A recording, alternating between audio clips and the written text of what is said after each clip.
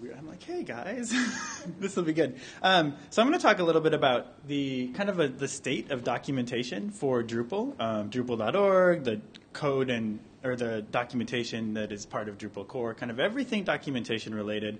Um, some of the things that the community is working on in order to attempt to improve the documentation, and um, and then I'm going to solicit your guys' feedback and help on some of that stuff.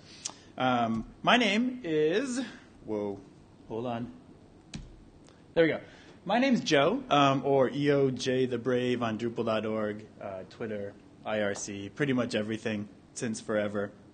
Um, I am a I'm a member of the documentation working group. The documentation working group is a handful of people from the community that were chosen to help um, oversee sort of policies and such around Drupal documentation, po- policies and guidelines to help resolve any disputes that come up and that kind of thing. So I'm a member of that group, and as such, I know a lot about the things that we talk about in that group. Um, I mentioned this too because I'm going to talk about a lot of those things, but I also need to point out that, like, in some cases, this is my impression of how things are going and how they should work, and is not necessarily reflective of the entire group. And this presentation has a whole bunch of links in it. Um, so if you feel like clicking on links, or if you're watching the video and you'd like to follow along at home, um, you can go to this URL and there's a bunch of slides. So I kind of mentioned this already, but what I'm going to talk about is the, the current state of documentation. So all the what is the documentation that we have, what's good about it, what's not so good about it. Um, then I'm going to talk about some of the work that we're doing on Drupal.org and in other places to improve that documentation, uh, and, and a little bit about why we're making those changes. And then finally, I'm going to talk a bit about this new project, the Drupal 8 User Guide, uh, which is something that started about around the time of DrupalCon Los Angeles, where I actually gave a presentation similar to this one, which I said, here's the state of documentation. One of the things we could do to improve it is write a user guide. And now we've started writing it, and I'm going to talk a little bit about how that's going and how far we've come and so forth. Um, I think one of the first things to, to look, think about with this is like when we talk about documentation for Drupal, what is it that we're talking about? And the thing is, is like our documentation exists in a lot of different places, um, and so these are just some of them. The the ones that people generally go to first, uh, or when you think about documentation for Drupal, are either the handbook. So if you go to Drupal.org and you click on documentation tab up at the top, you end up in the community handbook, which is basically this giant wiki. Um, I think it's something like 12,000 pages at this point of community contributed documentation. And then there's api.drupal.org, which is the documentation that documents Drupal core's code and all of the internal APIs. So as a developer, you probably make use of that documentation a lot when it comes to doing something like looking up how the format date function works. Um, that documentation also has comments. So similar to, for example, PHP.NET's documentation, you'll get information about a function and what it does and how it's supposed to be used. And then you'll also have some comments where people will um, sometimes provide helpful information, like examples of how you can use it, and sometimes provide unhelpful information, like examples of how you can use it. Um, there are also change records on Drupal.org, which, in a sense, I think are a form of documentation. And what they serve to document is whenever there's a significant change made between the way that something in, for example, Drupal 7 works and how it now works in Drupal 8.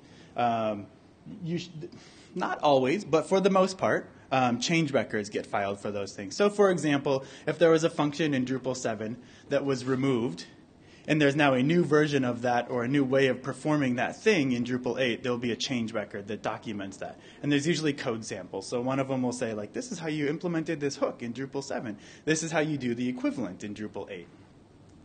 Um, so those are change records. And then there's also this Drupal 8 user guide, which is a new project um, that the Drupal community is working on to create a bit more of a curated um, guide for beginners, people that are new to Drupal and kind of want to get an understanding of what the uh, site building experience is like. And then there's all this documentation that we that exists in our community that isn't really part of the like Drupal community's purview, if you will. It's things that exist on external sites.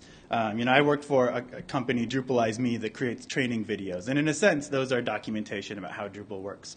There's tons of books and blog posts and videos and that all over, uh, typically found via searching in Google. But that's documentation as well. That, that element of documentation isn't something that the uh, documentation working group really has any control over. I don't get to say, hey, sorry, can you not write that blog post? Um, but that exists as well. And a lot of it is really awesome. So I'll start out by talking about some of the things that are really great about our documentation. Um, and I do this because I think that when we talk about what's not awesome about our documentation and the changes that we would like to make, I think it's important to remember what's going really well for us so that we don't lose those things as we make changes. Um, I think that api.drupal.org and the documentation that we've got there is really good. Um, it could certainly be improved, but for the most part, the documentation is good. Um, it's generally easy to follow, and it's generally pretty complete. And I like that. And there's a few reasons that I think that api.drupal.org documentation really stands out um, when we look at all of our documentation sources. The biggest one for me is that documentation tends to be somewhat curated, and it's definitely required. Anytime you write code for Drupal core, which is where all of the api.drupal.org documentation comes from, if you implement a new function or a new system in Drupal, you're also required to write the documentation for it as part of the coding standards review. So that patch that you wrote won't even get in unless the documentation is written, which is kind of cool because it means the documentation gets written. I also think the change records are really great, especially as we're making this transition from um, one version of Drupal to another. I think for those of us that have been working with Drupal 7 for a while, these change records are going to be super helpful because I know how to do a lot of things in Drupal 7, and I know that I can still do those things in Drupal 8, but I don't necessarily know how, and I think the change records will help with that. Um, I think our community does a pretty good job of this concept of drive-by editing the, the handbook on Drupal.org is all wiki pages. And so if you have an account on Drupal.org, you can click the edit button and make changes. And so we get a lot of people that come by and fix typos in the documentation. And that's super useful.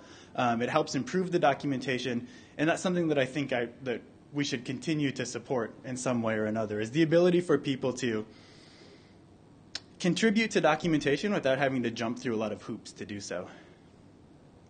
Uh, and I also think that we're, as a community, we're getting better and better all the time at um, celebrating the people that work on documentation and recognizing them for that hard work. And there's a lot of people that contribute to documentation. Um, these are statistics from basically since the beginning of the year, since January 1st. Um, we've had uh, just over 6,000 total edits to handbook pages on Drupal.org, which is awesome. So 6,000 times someone has come by and said, you know what, we could improve this documentation, uh, and done so. And these are the people that have helped contribute to that. So 6,000 edits, uh, roughly 1,000 people have contributed. But what's interesting about this is that when you start to look at the numbers, while there's 1,000 people that have contributed, there's really like 20 people that have contributed the vast majority of the changes. Um, if you've ever seen graphs of like what Drupal core contribution looks like, you've seen this graph, right? It's like five people wrote Drupal core, and then a whole bunch of people helped with it. The documentation kind of tends to be the same. There's so on the left, the really tall part is number. It starts with from the left. You've got um, number of people, so we'll say one, or sorry, 300 some people have made one edit. And as you come across this way, it's how many edits they've made. So you can see there's a lot of people that have made like one or two or three changes, but then never come back and make any more. It, this is only since the beginning of the year, so this isn't all time statistics, but I think it's probably reflective of the like what it would you would see a similar um, long tail like this if you looked at statistics since forever. And that's awesome that we've got this many people contributing. But I think one of the things that we could look at is um, what would happen if we got everyone that was making only one change to make two instead? So now instead of 6,000, we'd have 12,000 changes. Um, and that's huge in terms of improving the documentation and getting people to contribute.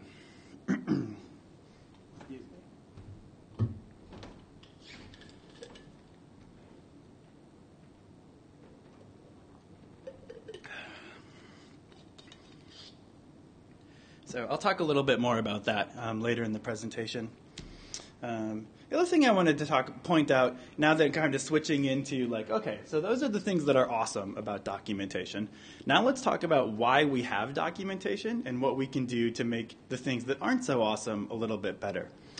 Um, this this pyramid of skills is part of a um, project that developed personas for Drupal.org. The idea was to identify groups of people, the types of things that they might be using Drupal.org to do, and the ways that they participate in the community.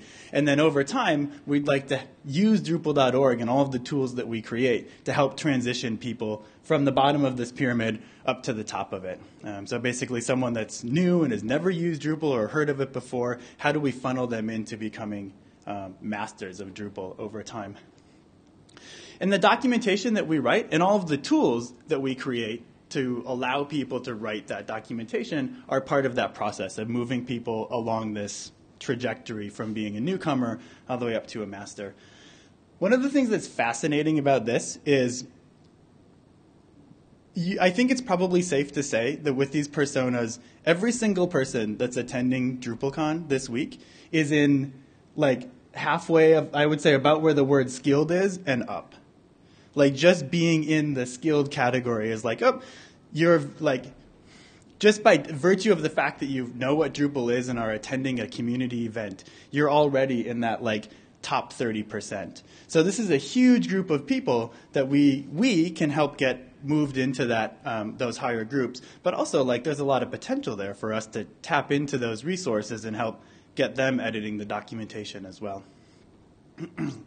so as we talk about making changes to our tools, uh, we often do so by taking a look at these personas and saying, if we make this change, let's say we, you know, make it so that a, change the tool that someone uses to edit documentation, which of these personas does it affect, and how does it affect them? And if it does, are we using it as a way to help transition them from, say, skilled to expert? All right, so that's all the stuff that was awesome. Um, this is some of the things that um, the documentation working group and the community over time have identified as pain points in our documentation and things that we'd like to see improved. Um, this is primarily relates to the documentation that is part of the handbook. Um, so the big wiki section on Drupal.org, though it, I think it applies to most things. Um, so, in no particular order, uh, lack of curation and review is something that comes up a lot as being a pain point for the documentation that we write. Anybody can go to a page on Drupal.org and edit it and make changes and fix a typo or add a code example or whatever the case is. And there's no formal process for those changes to be reviewed. The way that they do get reviewed is somebody else happens to note that, notice that there was a change made and come along and look at it or update it or fix it. But there aren't great tools for, so for example, um, Boris does a lot of work on the theming documentation. And there's no good way for him to know if I've come and made a change to something that he wrote so that he can go, oh, yeah, that is correct. Thanks for making the change, versus, uh, that's not a good way to do it. Maybe we should consider um, improving the documentation. The. the organization and the hierarchy of documentation is insane at this point. You go to like the handbook on Drupal.org, and it becomes this like nested tree that just kind of goes like down into the right forever. You're like, holy cow, that's a lot of pages. Um, it's not necessarily a bad thing that there's all of that content, but we definitely struggle to keep it organized. Um, I think a lot of this stems from the fact that in a, the wiki system, anyone can come along and they can create a new page, and they can create that new page anywhere in the wiki. So there's not a lot of we end up with a lot of pages that are kind of like, well, is this really the right spot for it? Or did you know that you've duplicated a page that exists in another section of the documentation, which you probably didn't because you went down this tree, but it was actually in that other tree. Um, so thinking about and working on ways to deal with that, I think, are important. For me, that partially comes back to this idea of like review and oversight. And somebody could say, somebody that's more familiar with the documentation might say, hey, did you know that that existed already? Maybe you could help us improve that project or that page rather than writing a completely new one. Um, the discoverability of documentation is a bit challenging. Uh, it, it, gets better and better all of the time as we improve these tools, but it's definitely something where, you know, I've talked to a lot of people who, when you ask them, like, where did you learn that information? They're like, oh, it's on Drupal.org slash node slash 12795. And you're like, you mean you remembered the node ID of the page that documented the thing? Um, so it's either that or people finding it through Google. Um, it's often brought up as a pain point for people that we talk to about how they use the documentation is that it can be challenging to find the things that they are wanting to read about. Probably stems partially from this fact that there's just a hard to keep organized hierarchy. Um, versioning is another problem. There's you go to all these pages on Drupal.org and it's awesome. It's like this is the page for how to th- do this one thing in Drupal six, seven, and eight. And you're like, okay. And then like they're all kind of different, so I'm not positive that this is going to cover all of them. And you start reading through it, and it's like half the paragraphs are like, this applies to Drupal 7, but not Drupal 8. And you get through, and then you're like, this applies to Drupal 6, but not Drupal 7. And um, that can be really tough as someone that's learning how to do something new because you why should I need to differentiate between versions of Drupal if I'm like I'm building a Drupal 8 website I don't really care how Drupal 6 or 7 did the same thing but the way that our documentation is set up currently um, there isn't really a a great way to version resources in the documentation and say, here's the Drupal 7 version of this page, here's the Drupal 8 version of this page you know, the equivalent of that would be uh, if your documentation was all in a version control system, you could write all the documentation for Drupal 7, and then when Drupal 8 development started, you could just create a new branch and say, here's the Drupal 8 documentation. A lot of projects do this. Uh, or similar. And you often see this in that you'll go and view their documentation and they'll have like a little toggle at the top that's kind of like switch between versions of our, our software's documentation. API.Drupal.org does this really well because it's parsing the code uh, and getting the, the, documentation from there. That code's obviously versioned. Uh, and then translation is tough. Um, translation of documentation is tough because there are 12,000 some pages. Um, figuring out which ones should be translated, uh, it would be difficult. There's also an issue of if I created a page and then you translated it, and then I changed the page, now your translation's out of date, but you have no way of knowing that I changed the page and you need to update the translation. What we see mostly with translation now is that people, um, different language communities, will create their own Drupal websites and translate a select number of pages from Drupal.org. Um, they'll just kind of pick the ones that they think are important and start translating those. Um, they very quickly become out of date, but it is a useful resource. so, with that in mind,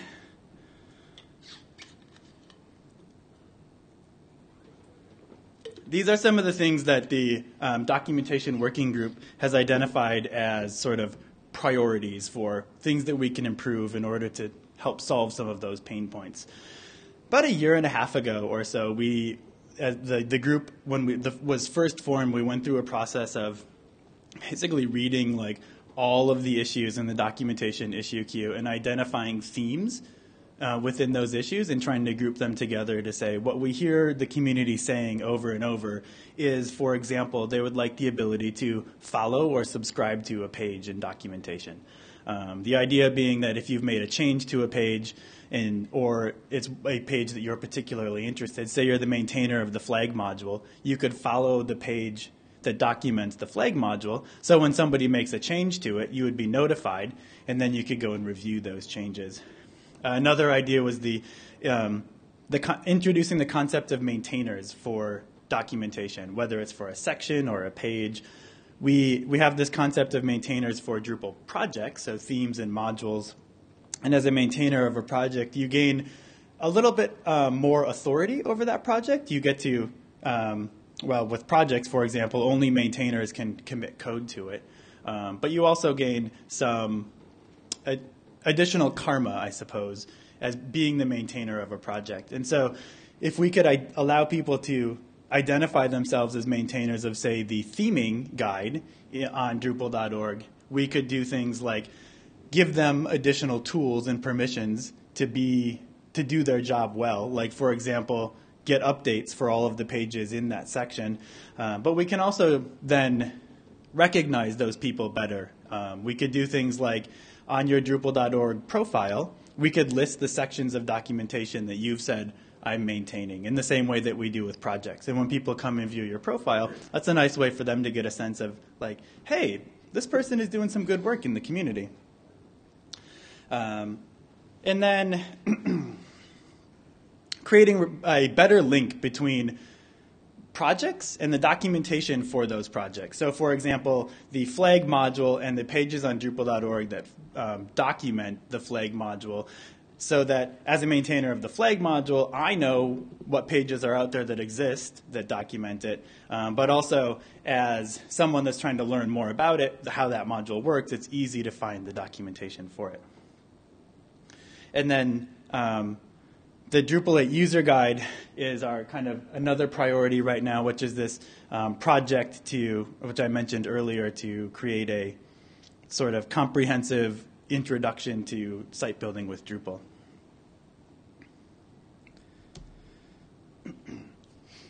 So with that in mind, uh, some of the things that we're doing in order to resolve some of those pain points. Um, the first one is changes that are being made to Drupal.org and the, um, all the tools and the um, infrastructure there in order to support documentation. There's actually some really cool and exciting stuff coming up um, in the not too distant future. It, for this work, um, in this case, a lot of the work and the, the way that things get changed on Drupal.org is the, the Drupal Association employs people that work on Drupal.org and make those changes. And the community and the documentation working group are asked to play an advisory role. So we get to come and say, hey, these are things that we've identified as being important and we'd like to get solved. And then let's work together to get that work done. Um, this also ties in with a lot of the content strategy work that's been happening on Drupal.org recently and just overall plans and changes for Drupal.org. But hopefully, how, what this is going to look like is um, Drupal.org is going to switch to a, a new format in which sections of documentation are created as essentially organic groups. So you could have an organic group, or we'll, we'll just say we'll have a section or a group that is the theming documentation. Um, pages that are part of theming would then be inserted into that group. This creates a little bit more hierarchy uh, and structure to the documentation, but it also allows us to deal with a lot of the things that we just pointed out that are pain points. Like, for example, you could say that someone could be a maintainer of the theming guide uh, by virtue of the fact that they're a owner of a group, and you could have multiple maintainers. This would um, modules the organic group suite of modules and uh, already has a lot of tools in place for helping deal with things like notifications, for example. So getting notification when somebody posts a new page into your group, you could take that to getting notification when somebody creates a new page in the theming documentation so that you can then later come back and review that page. Um, so I, I, that's a big one, like just that idea of maintainership and the idea that things, tools like organic groups allow us to uh, provide a little bit more structure, um, like an information architecture behind the wiki that allows for us to group things together in a way that you can realistically subscribe to a, a page or a set of pages in the documentation and get notice. I'm hopeful that that, even just the getting notice part, will help us make that transition from people that come and only ever make one edit to people making two edits. Because what happens now is like you go and you edit a page because you happen to discover it via a Google search, and then you probably never come back to that page ever in your life. Um, if we could let you edit the page and then say, I'd also like to be notified when somebody um, makes changes to this page, next time somebody else comes along and makes a change, you could get a notice, and then you could say, I'm going to go review that change and make sure that the page still makes sense. Another thing that we've been talking about a lot is the the comments on wiki pages on Drupal.org are varying degrees of useful. They range all the way from actually useful to not useful at all. Um, and how do we make that better and what do we do with them? What ends up happening a lot of times is people leave so you go to a page in the wiki and you leave a comment on that page and usually most of the time those comments are either questions where you're asking for clarification in the documentation or they are the clarification themselves. So they're improvements to that documentation which i really wish you would actually just edit the page and put the improvement in there but it doesn't always happen uh, unfortunately Sometimes it does happen, and now you've got a comment that says, it would be really great if the documentation was updated to say this. And it does say that, and now as the person that read the comment, I'm like, what is going on here? I don't, I don't get this. Um, and then when somebody asks a question as a, uh, in a comment on the documentation that says this part isn't clear, I would it would be way better if rather than leaving a comment that says, "Oh, well what you really need to do is X," as if the documentation got updated so that the next person that read it that was clear as well.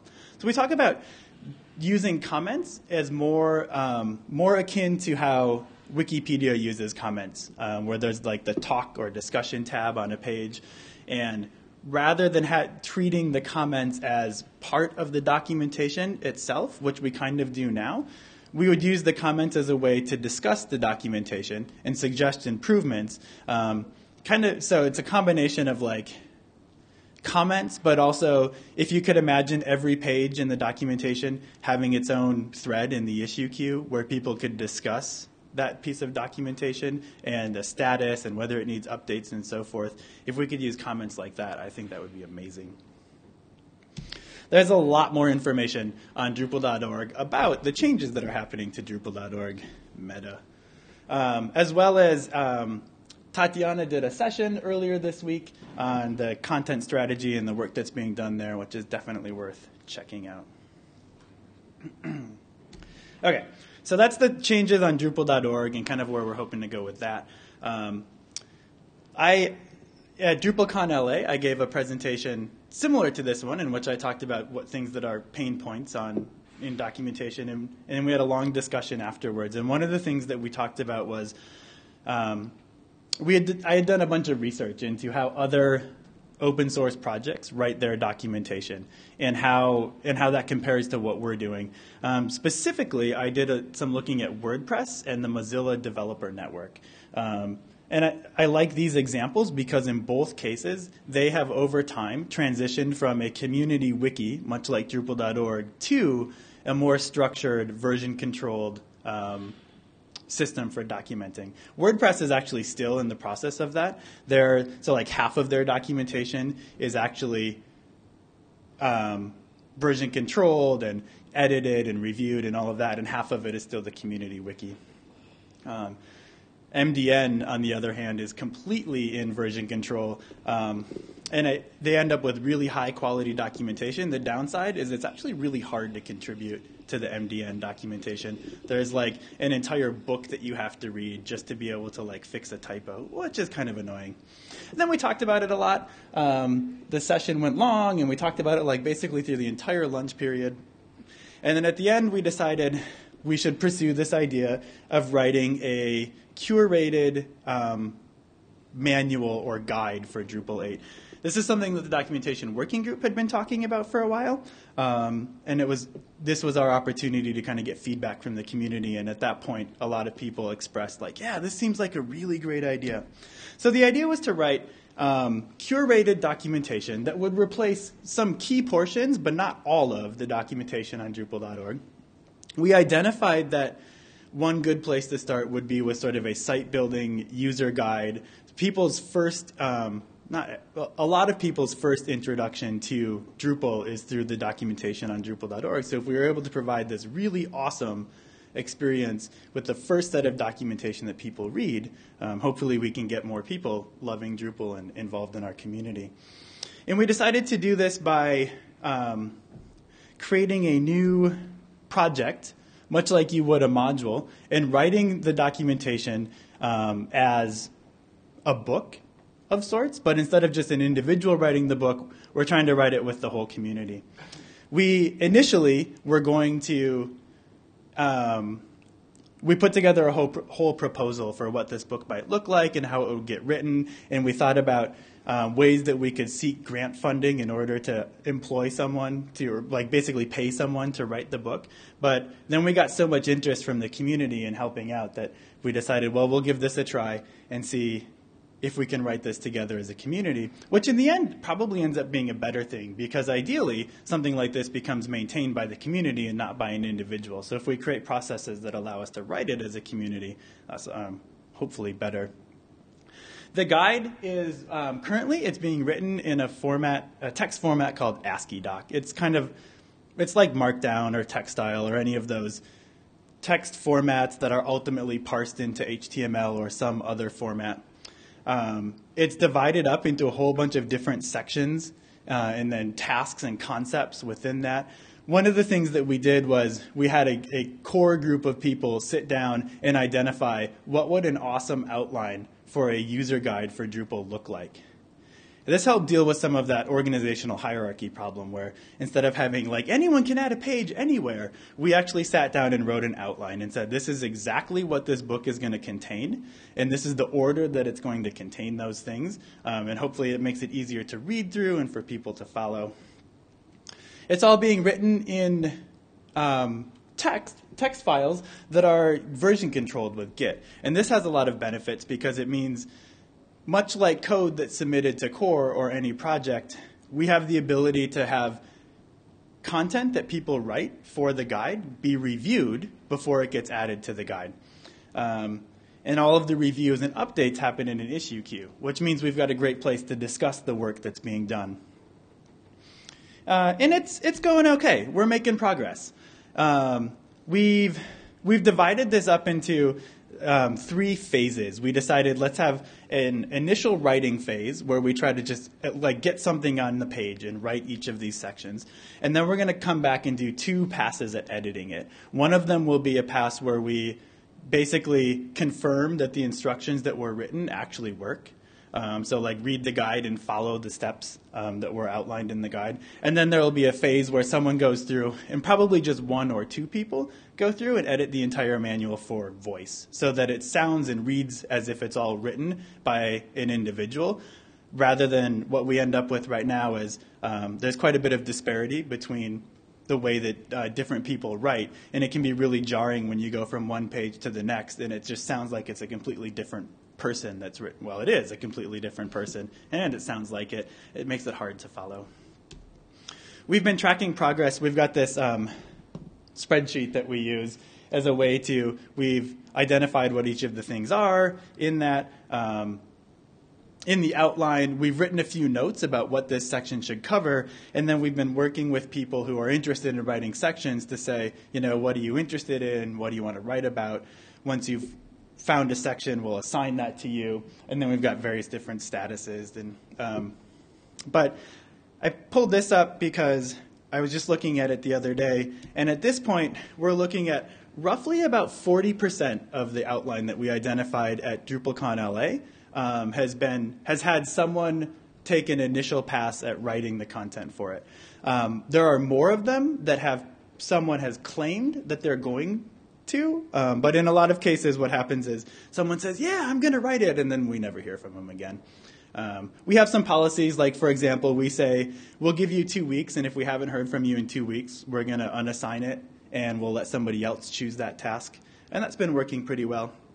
We've got a lot of really good guidelines and templates in place. Um, so we have a whole section on, like, if you're if you're writing about you know such and such in the Drupal user interface and you want to identify a string in the interface, this is the formatting that we use for identifying strings. If you're going to take a screenshot, this is how we take screenshots, and this is how we annotate our screenshots so that if we need to update them in the future, it's easy to do so. Um, having this content be in version control and having those types of templates and guidelines will hopefully make it easier for the content to ultimately be translated as well.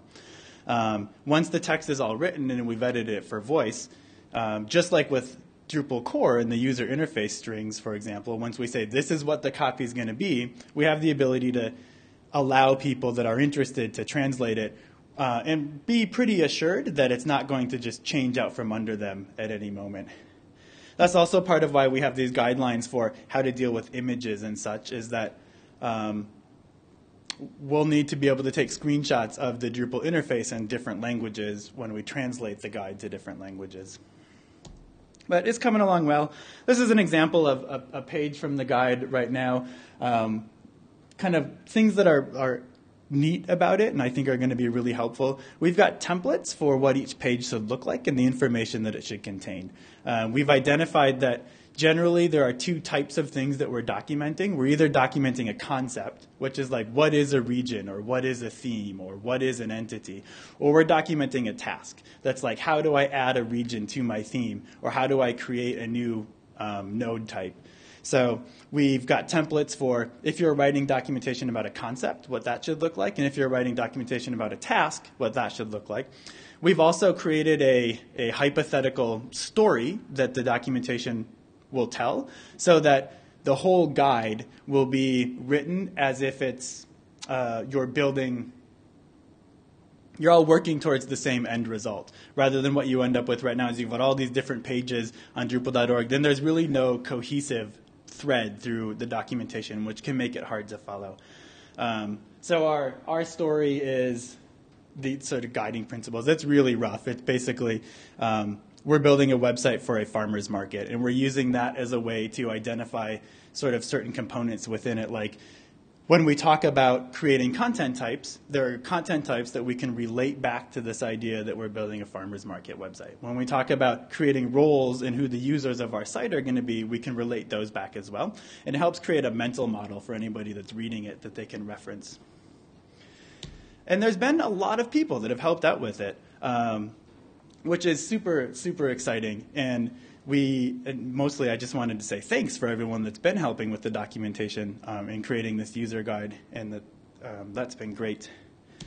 One of the things that this is um, kind of a side effect of this user guide and the process that we had to go through. In order to write this text and have it be on Drupal.org, it has to comply with Drupal's licensing.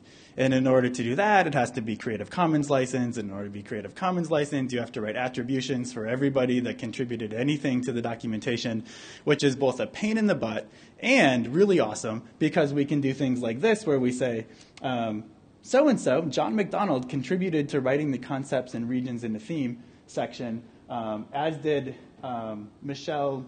Well, I'm going to butcher this. Uh, and they and she works at Erdfish. Uh, similar to the way that we've worked on tools that allow uh, code contributions to Drupal to be attributed to users, uh, so individuals and or organizations. We can start to do that with documentation as well, which I hope will compel people to be more active and contribute. Uh, we got a lot of work to do though to finish this up. Um, we're making progress. Um, the, the the nice thing about the guide in compared to the other changes that we talked about, so the changes to Drupal.org are primarily going to be the work of the Drupal Association. There are times where there is an opportunity for people in the community to help out, but usually the actual bulk of the work, the heavy lifting, um, is done by people that work at the Drupal Association because they have the ability to make those changes. Um, yeah, but totally, you can totally come to the sprints. We're going to talk about that in a second. See, um, but um, things like the guide are a little bit, especially if you're new to Drupal, are a little bit easier to help get started with. So anyone can help. Um, as a process of writing this, one of the things that we've discovered is that, and this is kind of true of documentation in general, though, is um, writing documentation is a task that seems to be really conducive to sprints or user group meetings or that kind of stuff. When we've worked on the guide, we'll get these like surges of activity where we'll have a sprint and a whole bunch of people will help participate, um, and a whole bunch of people will assign themselves a task and work on it for a while, um, and then it tapers off afterwards. And then if it's been a month or two since we've had a a more focused sprint. There's not a lot of activity. I suppose probably similar for Drupal core or projects. The same thing happens when there's a sprint. There's a lot of additional activity. One of the things that I've noticed though is that because we're using the issue queue to write this documentation is somebody comes to a sprint and they start contributing to a topic and we assign that topic to them and now next week I can just go leave a comment on that topic that's like, hey, how's this coming along? And the person's like, oh, that's right. I was helping out with the documentation. And they actually come back and help finish it rather than like what happens with documentation sprints now a lot of times is people show up and we um, we work on editing wiki pages on Drupal.org and it's great and they maybe make some progress and then they just disappear but there's no easy way for me to just kind of give them a friendly push in a week or two and be like hey remember that thing you said you were going to help with it'd be great if you finished it and if you don't that's okay um, so that's that's a benefit of this and a thing that I think we'll also see as a benefit of for example the transition of using things like comments to discuss the documentation rather than as part of the documentation is that if you could follow a page in the documentation and be notified when someone left a new comment, it's a similar effect. Like, hey, it looks like you did a lot of work on this. Did you know that this system changed? It would be great if the documentation was updated or whatever the case is. Um, so that the one of the big challenges that we have left with this is obviously writing it all, but then there's also the aspect of once it's written, how does that content become part of the Drupal.org system? How does somebody it's again it's basically the discoverability. Once the guide is written, how does somebody get to it and find it? Um, there's some ideas about how to do that, and we've been working on it, but that's going to I, I think that'll be one of the trickier bits of it to solve.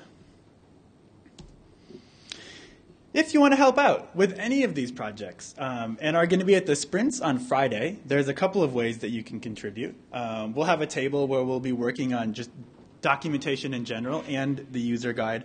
Um, I will be there along with a couple other members of the documentation working group. We've got tons of different issues that we could work on, kind of depending on what anyone is interested in. Um, there is, like Neil mentioned, if you want to help out with changes to the infrastructure and, and sort of makeup of Drupal.org related to what we talked about at the beginning of the presentation with switching to groups and using comments in different ways and all of that type of work. Um, seek out this handsome man. Um, and then, as part of that process as well, this whole idea of like, we'd like to provide more information architecture and structure to our existing documentation means that we're actually going to have to identify what all of those sections are and then move all of the existing documentation into those sections, uh, which is kind of a daunting task. We're looking at probably about 12,000 pages on just a handbook on Drupal.org that in some form or another will need to be audited and determine should this be part of the theming documentation or part of the flag module documentation. Um, so Tatiana will be working on that at the sprint. And she, she promises it'll be fun for some definition of fun. Um, otherwise, it, working on any of these things beyond the sprint on Friday, um, if you there's a the documentation issue queue or the groups.drupal.org slash documentation uh, group are great ways to get a hold of myself or anyone else that's actively working on these things. Uh, that's what I got. So that's um, the end of the session. If you want to leave feedback, you can do so by going to the node on the events.drupal.org site. And that's it. And I'm happy to answer questions if anybody has questions or wants to talk more about what's going on with these things. Ta-da! Surprise question. Joe, great job as always. Thank you. Um, awesome work on structuring everything. I love the the basic uh, concept behind the user guide and how it's working. Um, I had a question though, as as I've been kind of piecing through the code, mm-hmm. uh, and for those of you who don't know me, I'm Josh Mitchell. I'm the CTO at the Drupal Association, so we get to implement the code. Yeah, when I, whenever I say there are challenging things that someone has to figure out, he's one of the guys that and has to figure out how to do the hard part. Great, great to ask the question in this forum. Um, AsciiDoc, how is that working uh, in terms of, is that helping, hindering? Um, how, how, do you feel about that particular format? Um, sure. Um, I, so, so the question is, we're using AsciiDoc as the format to write all of the text for the user guide, and how's that process going and do we like it and, and such. I would say that um, it's we use a very limited subset of the things that AsciiDoc can do currently. Uh, from that perspective, it's been it works great for me. Like I have no problem figuring out the syntax. It's not all that. It's different than Markdown, but it's not any more or less challenging, uh, in, from my perspective. Um, I do find that like I've been using Markdown for years, and so I have all of the basics that I use regularly memorized. With the AsciiDoc, I definitely need to look things up from time to time. I specifically end up looking up the syntax for how do you link one document to another. Um, it has some features that we definitely make use of. Um, like that, for example, the ability to link from one document to another. So AsciiDoc would let me say, using a special syntax, link to this other file. Uh, that file, based on its syntax, has an obvious title at the top. So it's generally like the first line and has a um, hash symbol in front of it. like this is the title of this document, and the document has an ID, which is usually the name of the document as well. Um, so I can create a link in one document to another by identifying it by name. And what it'll do is it'll actually grab the title out of the linked document and pull it into where I've inserted it into some other documentation. That, for example, is, has been really great because I only have to change the title in one place, uh, which is a feature that I suppose lots of other there's, you know, there, so there's AsciiDoc and there's restructured text and there's Markdown and there's a bunch of formats for writing documentation. Um, and I, uh, yeah, it seems like it works as well as any of the others. Okay. Um, I don't know that we're necessarily tied to it. It was the decision to use it stems largely from the fact that um, Jennifer Hodgdon, who has been doing a lot of work with this, had the most familiarity with that of all the other things that we had looked at. Um, O'Reilly uses AsciiDoc for people who are writing books for O'Reilly. Um, and so uh, that was an easy one for us to get started with. It has some benefits, like, for example, we could, once the guide is written, you can compile it as HTML, but you could also compile it as EPUB, so we could, or a PDF, so we could distribute the documentation in other formats, which is kind of one of those, like, well, that's appealing. I guess we'll see if we ever actually use that, but yeah. Does that answer your question? Totally answers the question. Cool. And then the last thing I would ask are, it, what do you see as the key features for actually implementing that uh, that we're missing right now on Drupal.org? I think the so the question is, um, what's what's the key thing that's missing for getting this integrated into Drupal.org? I think the biggest thing is going to be uh, there's two parts of it. There's the discoverability. So how do we get it on Drupal.org in some form that people can locate it. So it doesn't just end up as its own separate site that no one ever knows that exists and can't get to.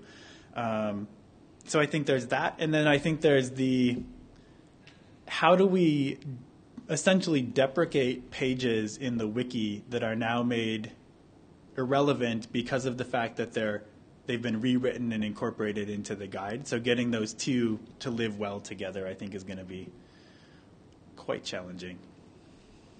Ta-da!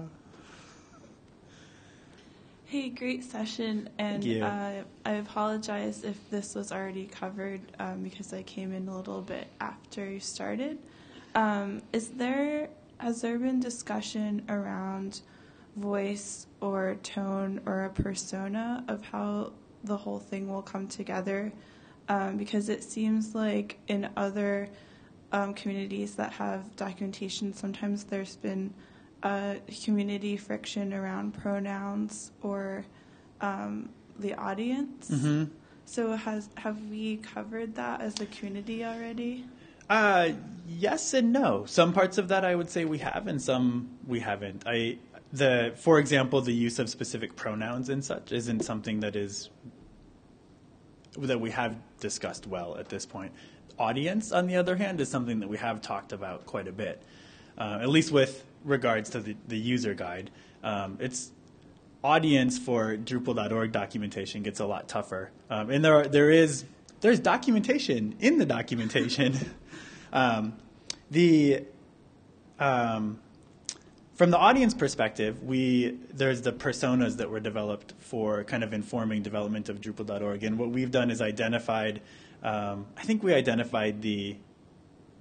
I can't even remember off the top of my head, but we identified one set of that persona as being this is our target audience. We'd like to write in a way that they will understand um, and and be able to read and have make sense to them. And we use that as a, as guidelines for being able to say, for example, this this definition is too technical or it assumes too much knowledge about the inner workings of Drupal. Can you change that? Or you know, conversely, like, well, we can assume at this point that you don't need to explain what Drupal is because they already know what that is, or they already know what a node is.